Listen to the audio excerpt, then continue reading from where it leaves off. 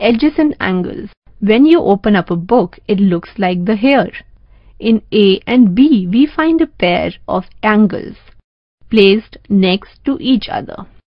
Such pairs of angles are called adjacent angles. Condition for adjacent angles are they have a common vertex, they have a common arm and the non-common arms are on either side of the common arm. Let us examine these conditions for adjacent angle in a given figure. Look at the angle MLN and NLO. Let's test for first condition. These two angles have common vertex. That is, first condition is satisfied. They have a common arm, so second condition is also satisfied. ML and LO arm of the opposite side at the common arm LN. So these two angles MLN and NLO are adjacent angles. Thus, third condition is also satisfied.